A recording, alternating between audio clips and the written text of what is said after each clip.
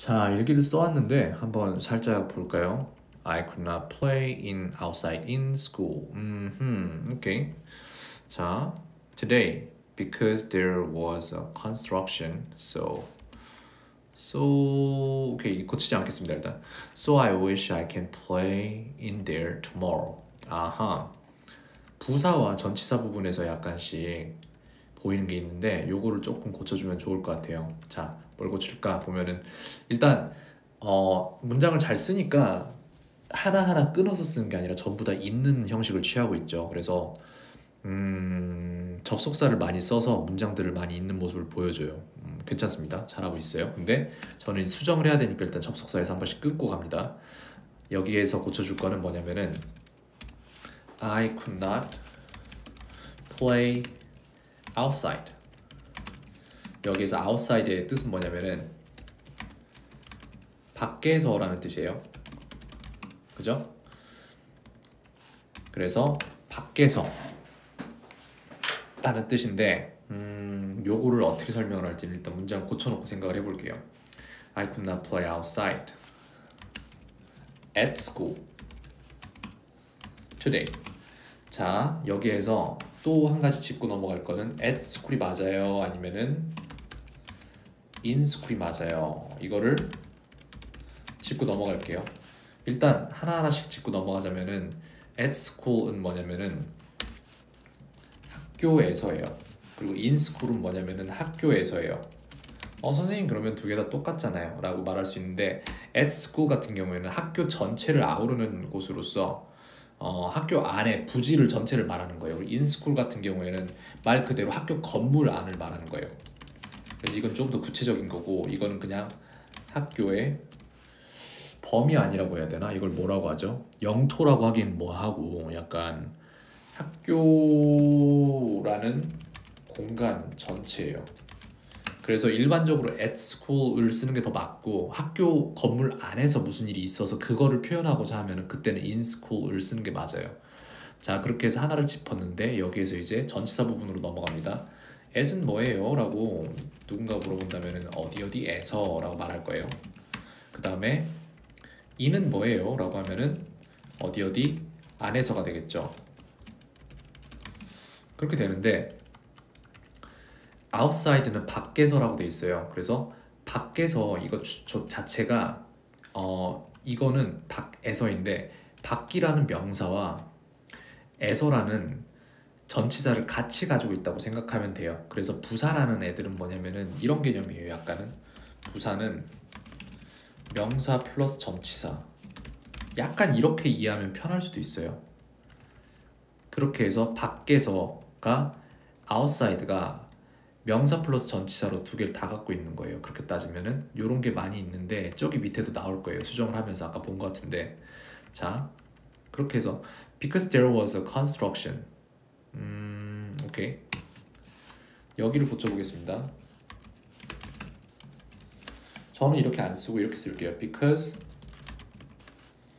어 there was something under construction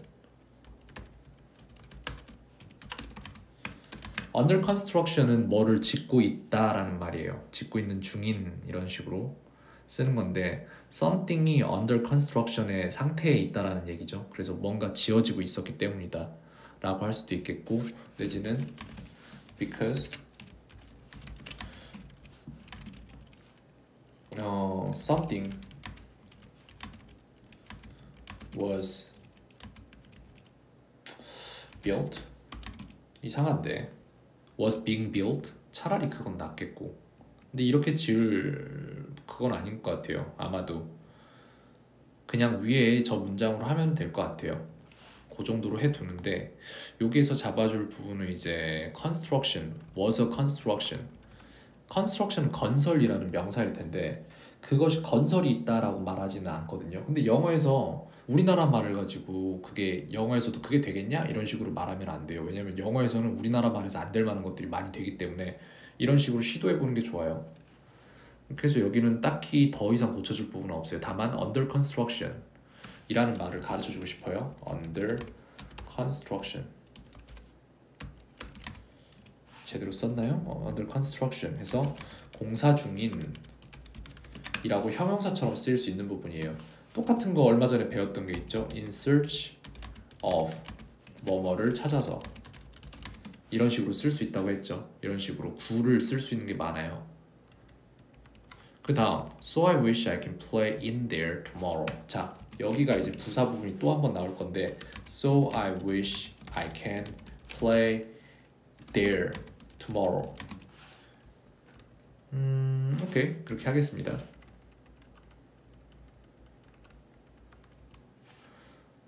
자 이렇게 해서 여기서 이제 in there이라고 나왔죠. 그죠 그러면은 at there도 있을 거고 on there도 있을 거고 또는 내지는 뭐 이런 것들이 있을 건데 그렇게가 되지가 않아요 왜냐면은 이걸 설명을 해주자면은 there 같은 경우에 어디에서 라는 말이에요 그래서 이것 또한 어, in there이면은 in은 거기 안에서잖아요. 어디 안에서. 근데 there이 에서예요. 그럼 두 번 반복이 돼 버리는 거예요. 어디 안에서 에서 이렇게 되는 거예요. 얘도 마찬가지. 어디에서 에서가 돼요. 반복되죠? 이것도 on there도 어디 위에서 에서가 돼요. 그래서 위에서든 안에서든 뭐 내지는 위에서든 아래서든 뭐 이런 거 다 상관없이 there 들어가면 그냥 there이에요. 왜? 얘가 어차피 그 의미를 다 포함해 버리니까. 그래서 부사가 어쩌면 더 편할 때도 있어요. there 같은 경우에 이런 것들이 똑같은 게 뭐냐면 home, here, there 또 뭐가 있죠? 딱히 생각나는 게 없긴 한데 그것도 되지 않나? 뭐였지? 아 다운타운 다운타운도 될 거예요 아마 이것도 부사로 쓰이는 걸로 알고 있는데 이런 것들이 예를 들어 이렇게 말 안 하거든요 go to home이라고 안 해요. go to there이라고 안 해요. go to here이라고 안 해요. 아 come to here이라고 안 해요. 왜냐면은 home은 집으로라는 뜻이에요. 집이라는 명사를 가지고 있으면서 으로라는 전치사를 가지고 있는 거예요. 그죠? there도 마찬가지로 거기로예요. 거기라는 장소를 가지고 있고 방향성 제시하는 전치사 부분까지 같이 가지고 있는 거예요. 그죠? 여기도 here도 마찬가지로 여기로라는 뜻이에요. 여기라는 공간적인 개념도 가지고 있으면서 방향 지시적인 전치사도 가지고 있다는 얘기예요. 그렇기 때문에 to가 안 들어가요. 전부 다. go home이고 go there이고 come here이에요. 이런 식입니다. 그래서 여기에서 다룰 부분은 제가 볼 때 전치사와 부사 그 다음에 그 두 개죠. 예, 그 두 부분을 조금 배우면은 더 문장을 잘 쓰지 않을까라는 생각을 해봅니다.